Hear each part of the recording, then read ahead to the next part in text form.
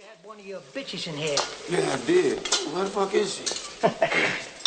So we got these hot books around, though, or a bitch or something. What time is it? It's 11.30. We're supposed to be here. You know, we're supposed to be there by 9. Shit, I'll be ready. Yeah, you're always fucking late. You're late for your own fucking funeral.